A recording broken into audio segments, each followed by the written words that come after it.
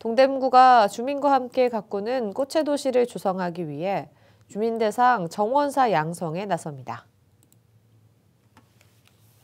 지난 16일 첫 수업을 시작한 20명의 주민은 현장 중심으로 대상지 현황부터 정원 디자인, 시공, 유지 관리 등 전반적인 과정을 수준별 맞춤형으로 받고 있습니다.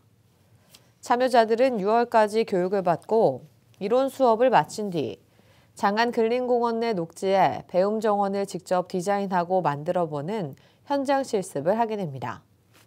12주 교육을 수료한 주민은 곳곳에 조성된 정원을 관리하는 봉사활동을 하는 등 관내 공원 관리에 직접 참여하게 됩니다.